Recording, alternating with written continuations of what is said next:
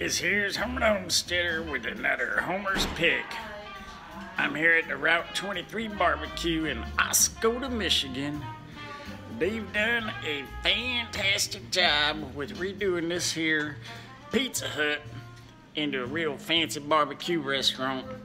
Real good stuff. Ate my ribs a whole slab all the way down to the bones, not leaving any left. Nice sweet and tangy barbecue sauce. Loved it. Nice winter place. And this coming from a Texan. They had some good barbecue down here. The brisket was good.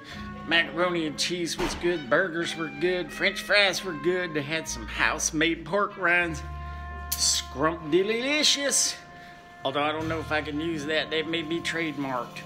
Anyway, uh, they got some homemade barbecue down here. Heard that. Some good decor, nice jazz music the whole time. And again, I don't know, this might show up backwards, but it's Route 23 Barbecue on actually in East Tawas on the northeast side of town on US 23. Come out, it's another Homer's Pick. Just saw you leg update on property.